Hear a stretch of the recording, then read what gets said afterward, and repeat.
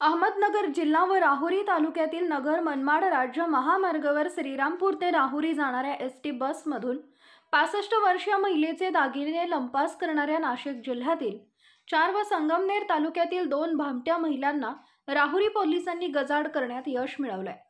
दिनांक अठरा जून रोजी सकाळी दहा वाजेदरम्यान राहुरी फॅक्टरी ते श्रीरामपूर दरम्यान जाणाऱ्या एस टी बसमध्ये अज्ञात चोरट्याने राहुरी तालुक्यातील चिंच विहिरे येथील एका पासष्ट वर्षीय महिलेच्या गळ्यातील सोन्याचे दागिने एस टी बसमधून लंपास झाल्याचा गुन्हा राहुरी पोलीस ठाण्यात दाखल झाला होता. या घटनेचा तपास पोलीस निरीक्षक संजय ठेंगे यांच्या मार्गदर्शनाखाली सुरू असताना दिनांक चोवीस जून रोजी राहुरी कृषी विद्यापीठ परिसरामध्ये सहा महिला संशयित आढळून आल्या.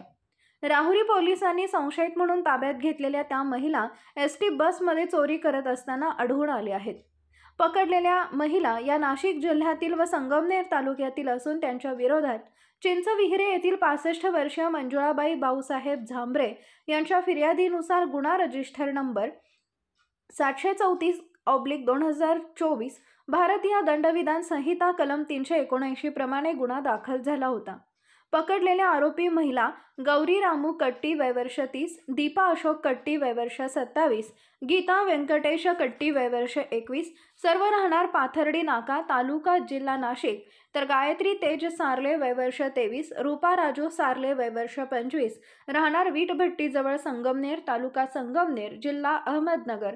नक्षत्रा कल्याण दुवानी वयवर्ष एकवीस राहणार पाथर्डी नाका तालुका जिल्हा नाशिक. आरोपी क्रमांक एक ते सोळा यांना दिनांक चोवीस जून रोजी दहा वाजेदरम्यान श्रीरामपूर ते राहुरी जाणाऱ्या एस टी बसमध्ये बेलापूर ते राहुरी फॅक्टरी जाणाऱ्या रोडवर दुपार दरम्यान ताब्यात घेतले होते.